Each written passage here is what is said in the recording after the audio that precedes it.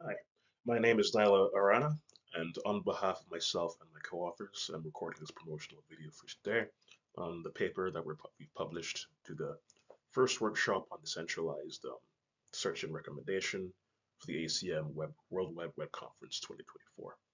Our paper today is an investigation into the feasibility of performing federated learning on solid pods. Now for some background.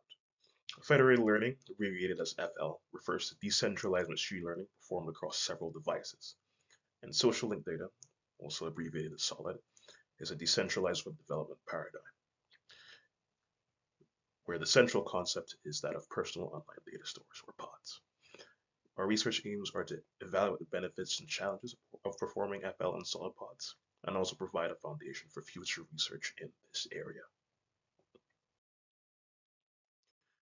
We have, a, we have we'll go into some more detail on FL and solid in, the, in this next section. Um, federated learning, as introduced by, by Google researchers in 2017, um, was envisioned as a centralized horizontal system. Centralized refers to the learning being distributed across several clients, where each client um, computes local weights and gradients, and a central server aggregates these into a global model. And horizontal, horizontal learning means that the data set is partitioned by samples.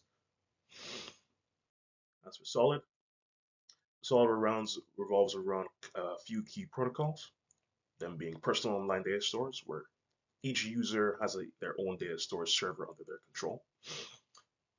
Pods can be self-deployed or provisioned by provider. Users can switch between providers, and solid apps read and write from pods.